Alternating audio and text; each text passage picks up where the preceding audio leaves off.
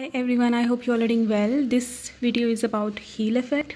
Previously, X-rays के related X-ray tubes के related हमने कुछ चीज़ों को डिस्कस किया था सबसे पहले पार्ट में हमने देखा कि एक्सरेज की प्रॉपर्टीज़ क्या होती हैं उनकी प्रोडक्शन किस तरह से होती है जनरल ओवरव्यू देखा हमने और हम हमने टू टाइप्स ऑफ़ एक्सरेज देखी जो कि प्रोड्यूस हो सकती हैं इन एक्सरे ट्यूब्स और वो प्रेमस्टालिंग रेडिएशंस थी एक्सरेज थी, जो कि ब्रेकिंग रेडिएशंस कहलाती हैं या फिर करेक्टरिस्टिक एक्सरेज दोनों के हमने मैकेनिज़्म देखे कि किस तरह से जनरेट होते हैं।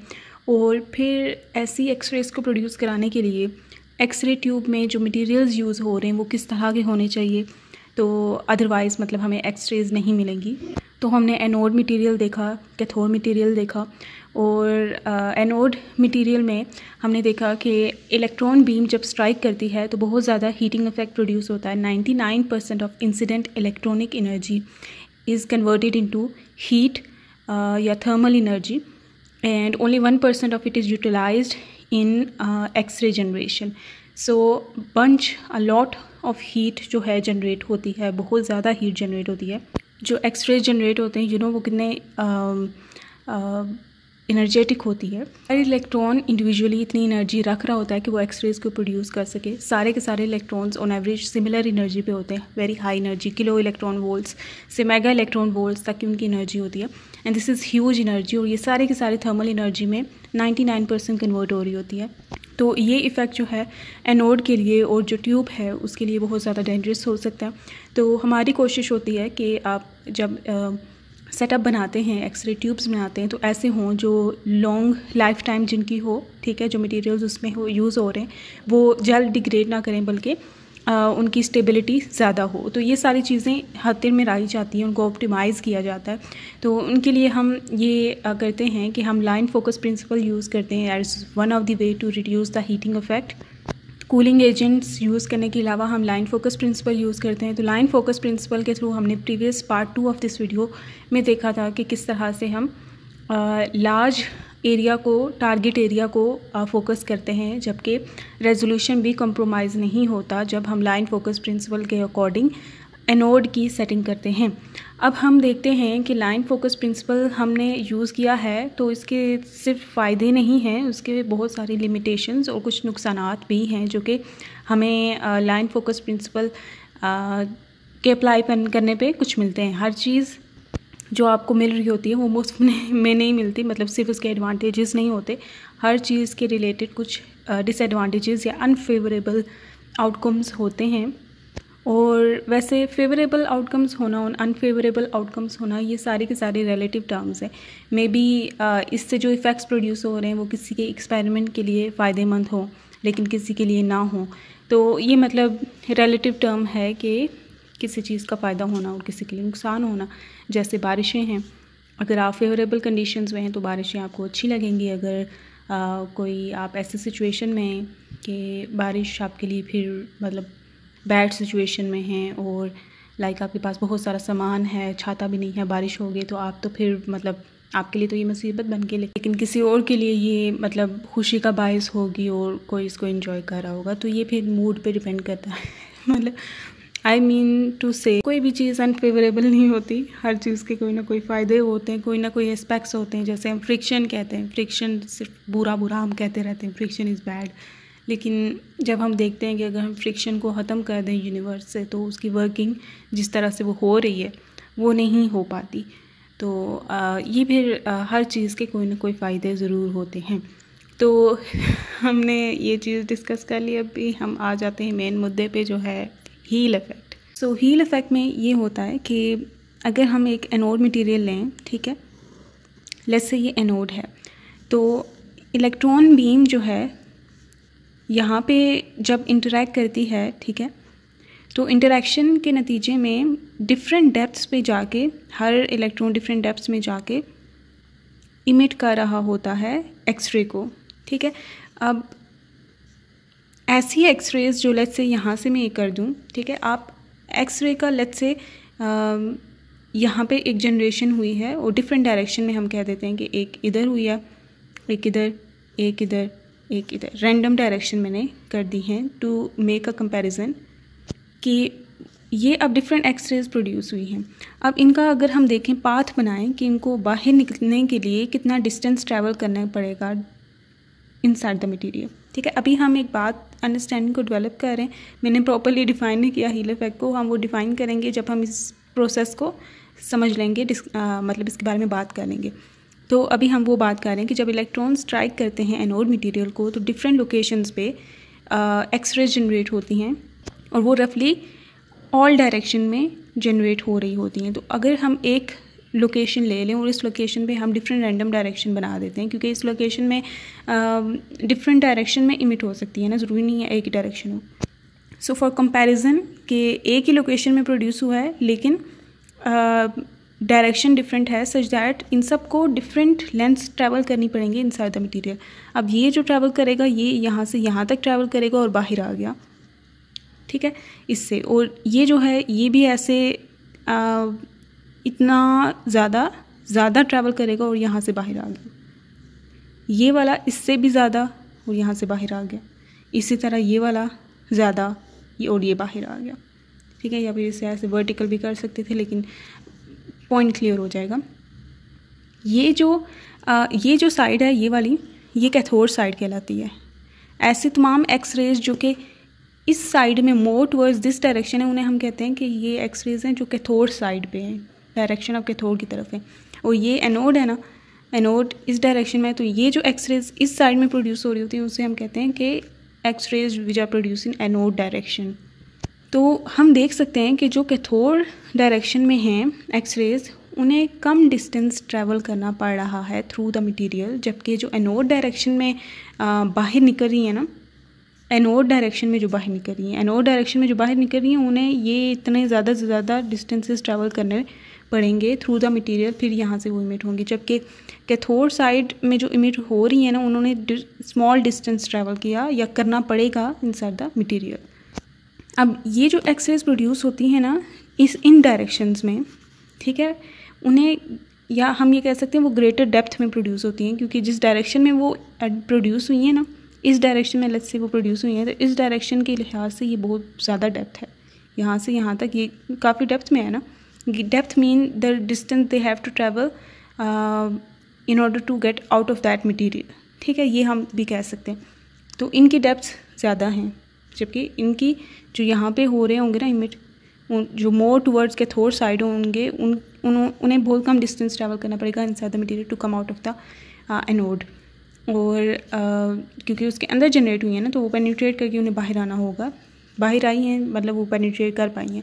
तो इस साइड पे जो मटेरियल की प्रोड्यूस हो रही होंगी ना इस डायरेक्शन में जो प्रोड्यूस हो रही होंगी X-rays there is the greater probability कि मोस्ट ऑफ़ द फोटोन्स या एक्सरे जो हैं, वो लॉस हो जाएँगे while travelling that huge distance यहाँ पे ट्रैवलिंग के दौरान उनकी इंटरेक्शंस होगी मटेरियल के साथ इंटरेक्शन के नतीजे में जो एम्पलीट्यूड ऑफ़ वेव है, वो एटेनुएट होगा। एटेनुएशन मींस रिडक्शन होना और इसकी इटेनुएशन होती है मींस यहाँ पे ये पहले इतनी एनर्जी थी वेव्स की एनर्जी उसके एम्पलीट्यूड के प्रोपोर्शनल होती है। तो जब इंटरेक्शन होगी तो ये एनर्जी डिक्रीज़ हुई करते करते करते, क्योंकि इतना ज़्यादा डिस्टेंस है तो there is a greater probability कि at the end of this path या इस पाथ के अंदर ही बहुत सारे जो एक्सरेज होंगे, वो डाई आउट हो जाएँगे मटीरियल के अंदर ही हीट की फॉर्म में। ओके तो एक तरह का इसे हम हीट लॉस भी कह सकते हैं कि ज़्यादा हीट लॉसेस इस डायरेक्शन में होंगे। एनोड की डायरेक्शन में यहाँ पे हीट लॉसेस कम होंगे। ओके ये तो वन परसेंट हमें एक्सरेज मिलेंगी, लेकिन किस डायरेक्शन में एक्सरेज ज़्यादा मिलेंगी और किस किस डायरेक्शन में कम मिलेंगी, वो हील इफ़ेक्ट से हमें पता चलता है कि यहाँ पे एक्सरे लॉस जो है इन एनोड डायरेक्शन ज़्यादा होता है, जबकि यहाँ पे एक्सरेज लॉस जो है कम होता है। हैंस हमें इस डायरेक्शन में जो कि कैथोड डायरेक्शन है, उसमें ज़्यादा फोटोन्स मिलते हैं, जबकि यहाँ पे फोटोन्स हमें कम मिलते हैं। हील इफ़ेक्ट यही होता है। Heel effect is that the X-rays which are produced in greater depths they faces greater attenuation in the material and much of the X-ray photons X-rays waves कह सकते हैं फोटोन्स कह सकते हैं lost during their propagation inside the material due to greater depths और uh, जिसकी वजह से probability of getting X-rays along anode direction हम ये कह सकते हैं द ये डायग्राम बनाते हुए that the x-rays that are produce in anode direction has to travel longer distances फिर हम ये कह सकते हैं that that x-rays that are produce in I know direction there is a greater probability of uh, those x-rays to be attenuated inside the material because they have to travel longer distances inside the material in order to get out and uh, in during the process much of the x-rays are lost into thermal energy so most thermal losses uh, due to these uh, x-rays will be in anode direction ठीक है? कुछ तो electrons actually में produce कर रहे होंगे। Directly ही thermal energy में उनकी एनर्जी जा रही होगी लेकिन कुछ ऐसे इलेक्ट्रॉन्स होंगे जिन्होंने एक्सरेज को प्रोड्यूस किया लेकिन वो एक्सरेज क्योंकि ग्रेटर डेप्थ में थी तो वो एक्सरेज फर्दर ऑन लॉस होगी हमसे। हम ले नहीं पाए इस मटेरियल से बाहर। We couldn't manage those x-rays के हम उनको भी ले पाएँ बाहर कर पाएँ। तो एक तरह की ये रेजिस्टेंसेस बीच में आ जाती हैं जिसकी वजह से कुछ ना कुछ लॉस हो जाता है। तो there will be greater loss of photons in anode direction than in cathode direction and hence this introduces are non homogeneity in x-ray spectrum that will get जो एक्सरेज हमें मिलेंगी एंड कैथोड डायरेक्शन में वो ज़्यादा intense होंगी और जबकि जो uh, मैंने उल्टा कह दिया, शायद। जो एक्सरेज हमें कैथोड डायरेक्शन में मिलेंगी that they will be intense while those that are produce in anode direction they will be less intense और ये हम इनका रीजन ऐसे करते हैं, ये ज़्यादा रेडिश कर दिया जाता है आई थिंक ठीक है, मैं इसकी पिक्चर साथ में अटैच करूँगी। ये ज़्यादा इंटेंस रीजन होता है, इसमें इंटेंसिटी ज़्यादा होती है इंटेंसिटी ज़्यादा मतलब फ़ोटोन ज़्यादा होते हैं, जबकि ये वाला जो रीजन होता है, इसमें दरमियाना दरमियाना काम होता है, वो इस रीजन में वो होते हैं जिनकी लीस्ट एनर्जी होती है। और और भी डायरेक्शन में एक्सरेज जनरेट होती हैं लेकिन आ, हम उनको फ़िल्टर आउट कर देते हैं और ये वाली हम लेते होते हैं रीजन फ़िल्टर आउट करके यानी इसको हम यूज़फुल एक्सरेज कहते होते हैं इनको हम यूज़ करते होते हैं। और और इंटेंसिटी के साथ साथ आ, क्योंकि इन्होंने ज़्यादा डिस्टेंसेस ट्रैवल किए तो ऑब्वियसली इनकी एनर्जी में भी फ़र्क आया होगा ठीक है? तो एक तो लेंस लेस इंटेंस होंगे और उनकी एनर्जी भी कम होगी। For the same reason that बेशक they can uh, they could manage to get out of the material but they had lost some of the energy during the process intensity से मुराद है कि कितने नंबर ऑफ़ एक्सरे फोटोन्स हमें मिले हैं output पे तो एनोड डायरेक्शन में हमें less number of x-ray photons मिलेंगे आउटपुट पे और वो जो मिलेंगे, उन बेचारों की भी एनर्जी इतनी ज़्यादा नहीं होगी, उनकी भी कम हो चुकी होगी अटेनवेशन की वजह से। तो यहाँ पे मेरा कहने का मकसद ये है कि इंटेंसिटी भी डिक्रीज़ होती है मतलब कम फोटोन्स मिलते हैं जो मिलते हैं, उनकी एनर्जी भी कम होती है। जो भी इन्होंने ट्रैवल किया इसके इनसाइड तो ये वाली ज़्यादा एनर्जेटिक ये वाली कम एनर्जेटिक नॉन यूनिफॉर्म भी होगी और एनर्जी स्पेक्ट्रम की अगर बात करें तो इसकी एनर्जी कम होगी, जबकि इसकी एनर्जी ज़्यादा होगी। तो इनर्जी पे डिपेंड करता है पेनिट्रेबिलिटी ठीक है? पेनिट्रेटिंग पावर क्या होगी? एक्सरेज की। सो दिस रीजन में जो एक्सरेज प्रोड्यूस होंगी इनकी पेनिट्रेटिंग पावर ज़्यादा होगी जबकि इसकी कम होगी। तो ये कर सकते हैं कि लेट्स से यहाँ पे अगर हमने कोई बंदा खड़ा करना है तो इस साइड पे वो वाले ऑर्गन्स हों जिनके लिए ज़्यादा पेनिट्रेशन चाहिए और इस साइड पे वो वाले हों जिन पे कम पेनिट्रेशन चाहिए या फिर इस तरह की चीज़ें यूटिलाइज़ की जा सकती है या आ, इसको मतलब डिफरेंट तरह से यूटिलाइज़ भी किया जा सकता है और नॉन यूनिफॉर्मिटी को डिक्रीज़ करने के लिए, ख़त्म करने के लिए फ़िल्टर्स को यूज़ किया जाता है फ़िल्टर आउट कर दी जाती हैं अनफेवरेबल पार्ट्स को या फिर बहुत सारी चीज़ें की जाती हैं लेकिन तो ये हम देख चुके हैं कि हील इफ़ेक्ट क्या होता है। Variation in the intensity and the energy of the x rays produced in x ray tubes in different directions is called heel effect the richer intensity and rich energy x-ray photons lies in the cathode direction while the uh, poor uh, energy photons जो हैं x-rays के poor energy and poor intensity के वो anode direction में होते हैं तो ये हील इफ़ेक्ट इसको हम कहते हैं अब लाइन फोकस प्रिंसिपल इस हील इफ़ेक्ट को और वर्स कैसे बनाता है ऐसा मटेरियल है तो वो तो हील इफ़ेक्ट इसमें होगा ही होगा, लेकिन अगर हम इसे थोड़ा एंगल्ड कर दें एंगल इसका कुछ कर दें तो लेट से मैंने ऐसे एंगल कर दिया। ठीक है? तो ये इनके पाथ लेंस को और इंक्रीज़ कर देता है। ठीक है? इसको हम अगर बात करें इसी पोजीशन के लिए, ठीक है?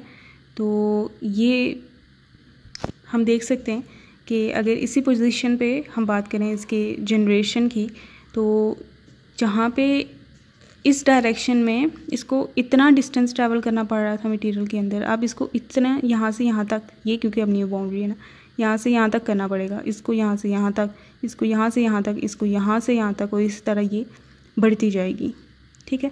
तो इस तरह से ये एंगल सिचुएशन जो है इस चीज़ को वर्स बना सकती है, बनाती है। और ये देख सकते हैं हम, इसको पहले यहाँ से यहाँ तक करना पड़ा, लेकिन अब ये इसी लोकेशन में प्रोड्यूस हुआ, लेकिन इसको यहाँ से यहाँ तक डिस्टेंस ट्रैवल करना पड़ेगा। और ये इसकी पोजीशन रफली अगर यहाँ से देखें तो वैसी ही है। ठीक है? ये तो सब फ़र्क आया ना, लेकिन यहाँ पे ये देख सकते हैं, ये जो डिफरेंट डायरेक्शन में फोटोन्स की अटेनुएशन ज़्यादा हो रही होगी if we have angled situation okay तो ये ऐसे लाइन फोकस प्रिंसिपल हमें प्रॉब्लम देता है means much of the energy जो है एक्सरे फोटोन्स हैं वो लॉस हो जाते हैं और या फिर उनकी एनर्जी डिक्रीज़ हो जाती है इवन जो हमें आउटपुट पे मिलते हैं या फिर इंटेंसिटी को वो वेरिएशन बहुत ज़्यादा हो जाती है। तो ये एक इसका ड्रॉबैक है लाइन फोकस प्रिंसिपल उसको थोड़ा सा और बढ़ा चढ़ा देता है। तो वरना इट्स ऑल गुड ये था हील इफ़ेक्ट और अगर मैं इसको कंक्लूड करूँ अगेन मतलब आ, हम इसको समराइज़ करें कि हमने क्या देखा कि ये क्या है तो heel effect is the variation in the intensity and the energy of x-rays generated in from cathode direction to anode direction this variation in the intensity and energy occurs due to uh, the fact that the, the x-rays more in the anode direction faced more attenuation in the material than those that are generated in cathode direction.